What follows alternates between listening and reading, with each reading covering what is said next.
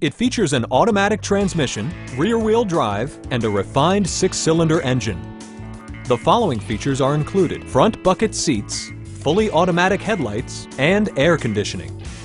Chevrolet also prioritized safety and security with features such as dual front impact airbags with occupant sensing airbag, head curtain airbags, ignition disabling, and four-wheel disc brakes with ABS.